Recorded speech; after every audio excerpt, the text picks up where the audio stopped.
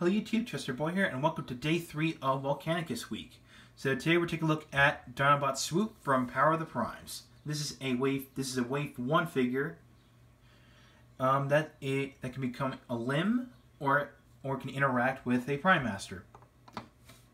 So, so he does come with uh, three things. We got the fit. Well, actually four. We got the figure, his thermal blade, the Prime armor, and of course the card. And of course my card the one that came with my swoop figure is the Vector Prime one.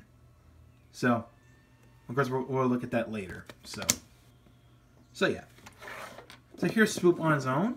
You can see, of course, of course, you can tell he's and he's always been a pterodactyl. Yep. So yeah, he's a pterodactyl, just like his old self, his old G1 self. Um, yeah, very neat looking uh, pterodactyl. Yeah, and of course, it's got movable wings, so. of course, they do extend, like, of course, they do extend, like that. And of course, his G1 color scheme is exactly the same as his G1 toy. Of course, it got the nice gold layer bit, um, which is in fact the only um, part of this toy that has, you know, clear layer plastic. Um, well, it's basically just gold paint over, um, actually, no, no. It's actually clear a clear layer of plastic over gold paint. So that's what it is. And of course the eyes are painted as well. So and, and of course they are painted on the clear plastic. So yeah. So yeah. So yeah. Um articulation, the wings can swing they can fold up and down. And of course I did show this earlier that these little wing bits can fold out. And of course the neck can well the head can move, but that's for transformation. So so yeah. And of course the toes can actually bend. Um, as if you want, um, let's say, you know, like like a sitting position, like you can just fold his wings in like that, like he's perching on something, like on a tree. So you could do that. So yeah. And of course, of course, it does come with two weapons. Um, one his thermal blade, which you can which can be plugged under um, Swoop's mouth. So like that. And of course his prime armor can actually can actually plug on top of the back.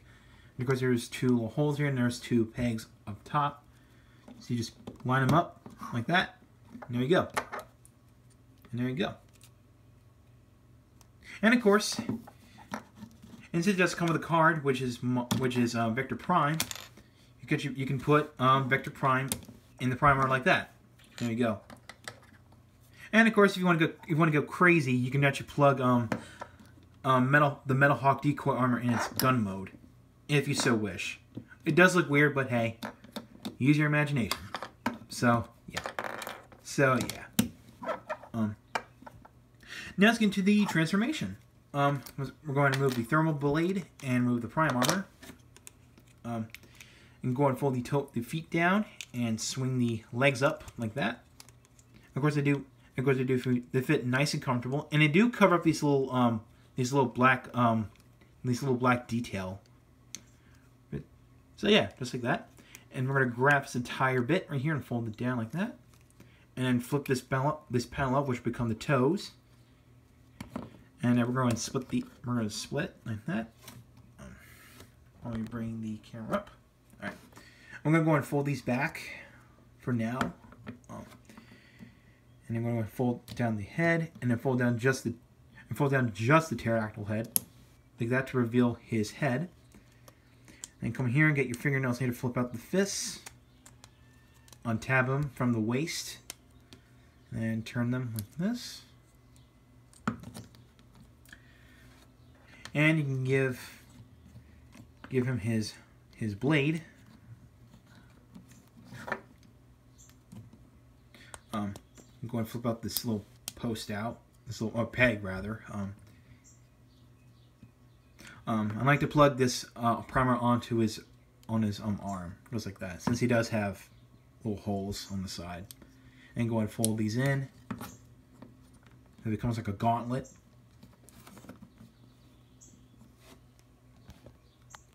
And there you have Dinobots. There you have Swoop and Robot mode. And you can see he's very, very nice, very sleek, very skinny, um, um, very proportioned. Um,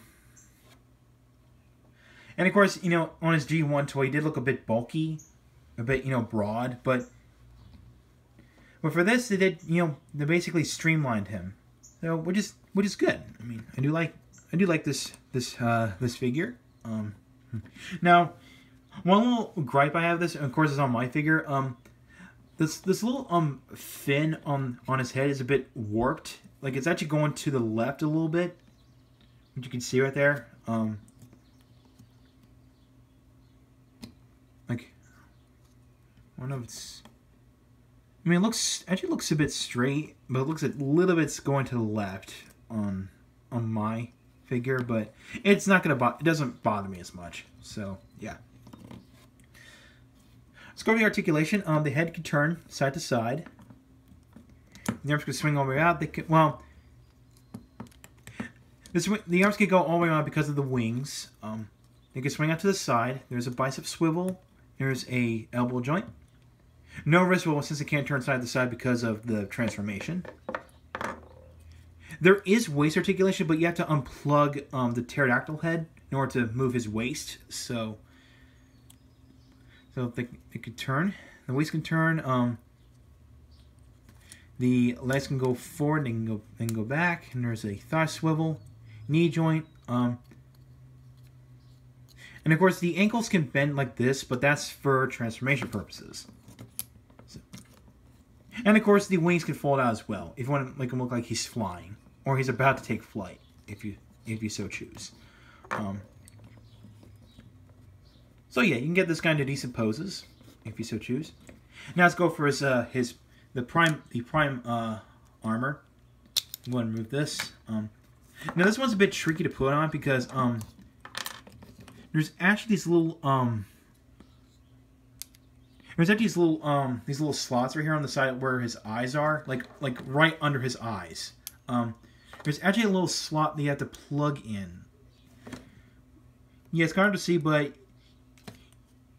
you got to like hold this. You had to hold this. Well, you had to hold one of the sides in. Make sure you fold in this, this peg as well, and fold this over, and then fold this around like this, so that way it, it holds on to the um the chest like that. So, so yeah, yeah, it's kind of a tricky thing to do for the first time, but once you get once you do it more more than one time, then you'll get the gist of it. So yeah, and of course you could plug plug Vector Prime in there. And of course, let's give him the Metal Hawk decoy armor in weapon mode.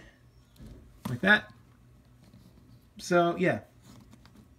And with this power, he has the power to make precision times, well, to make precision time strikes and alter events and, well, actually, I need to reword that. Um, basically, with with Swoop using the Vector Prime power, he he could perform precision time strikes that alter events and destinies. So yeah, interesting. Um, so yeah, that's that. Go and unplug this. And let's go and plug the sword in. Plug this on. Put it down, put it on his arm. There we go. Alright. So that is it for Dinobot Swoop. Um, or just Swoop. So I do recommend this guy if you're gonna if you're gonna be if you're a fan of the Dinobots or you're gonna make Volcanicus. Um, and this is a lot of fun, just like the previous two um, figures I reviewed. So yeah. Um, let me just say about this guy. Um, very nice, very cool, very streamlined. Unlike his, very streamlined, just well, not like just the G1 tour. Since I said before, the G1 tour looked a bit broad. But hey, that was the 80s, so yeah. So, day four, we will cover Dinobot Sludge. So, I will catch you tomorrow.